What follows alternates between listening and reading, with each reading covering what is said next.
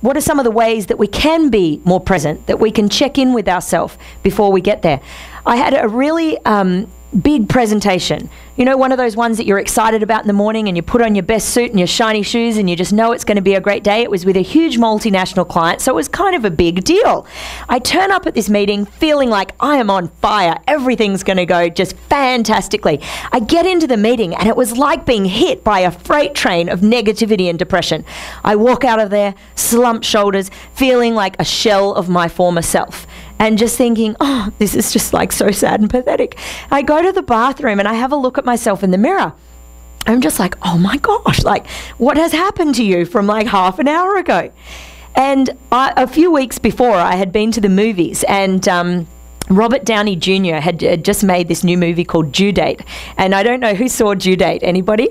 And there's this great scene, um, hilarious, where Robert Downey Jr. spits on the dog. I know, a little bit naughty, but it's just you had to be there. One of those moments, and the guy with the dog turns around to him and goes, "You better check yourself before you wreck yourself."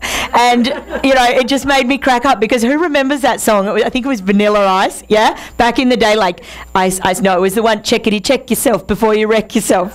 Yeah, it's hilarious. And so I just had this song playing in my head for weeks afterwards. And as I'm standing there in the mirror, all slumped and depressed, I've just said to myself, you better check yourself before you wreck yourself. Because I knew that I was going to take that negativity and that slumped, depressed feeling into my next meeting. Now, how do you think I would have gone?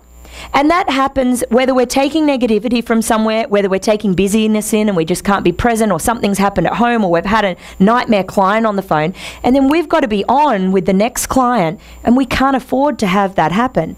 Because I know when I got started in sales at just 17, I was not the best salesperson.